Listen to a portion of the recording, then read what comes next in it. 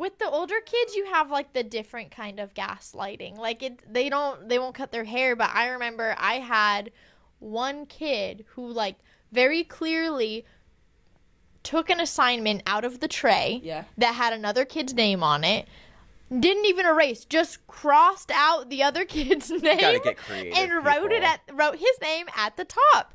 And i got it and i looked at it and i was like did you take Connor's paper and just like cross his name out? No.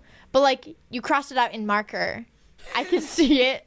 Like I Right. see his name because you know like Oh when my it there's pencil under marker, Right. you can Yeah. still see it. Like Right. Also, I was very. those battles it. you just don't fight. You just give the kid the zero and Right. Right, like, like, it's very- I know what you did. Why would you like? Why would you have to cross out your name ever? Like, did you you mess up on your Right. name? Right. Right. You Exactly. spell it. What, what you're Right. telling me is you're in high school and you can't spell You, your name. you forgot to spell Right. it What? correctly. I'm like, can you tell me what your assignment, like what your assignment was on? I forgot. You just turned it in yesterday. No, no, I forgot. But I, that's my paper. Bro, I they didn't will lie name with a out. straight What do you Why mean? y'all Y'all lie for a living and will lie with a oh yeah. straight oh, face. Oh, for sure. I'm like, what in the world? I'm like, how y'all just lie like that? Kids Because don't li- you know? Kids are literally wild, man. Parents' Yeah. babies would never do that.